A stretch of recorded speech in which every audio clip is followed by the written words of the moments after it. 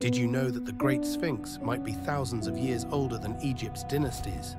Let's explore the intriguing water erosion theory. The Sphinx, a monumental statue, has puzzled archaeologists for decades. Traditional beliefs date it to around 2500 BC, built during Pharaoh Khafre's reign. However, some researchers argue that the weathering patterns on the Sphinx suggest water erosion, hinting at a much older age than previously thought. Ancient Egypt was predominantly dry, raising a critical question. Where did the water come from? Could it date back to a wetter climate over 7,000 years ago? Geologist Dr. Robert Schoch proposed that the Sphinx's erosion was caused by rainfall, indicating it was built in a time of heavy rains, predating Egyptian civilization. This theory challenges the conventional timeline, suggesting an advanced civilization existed before the dynastic Egyptians, capable of monumental constructions.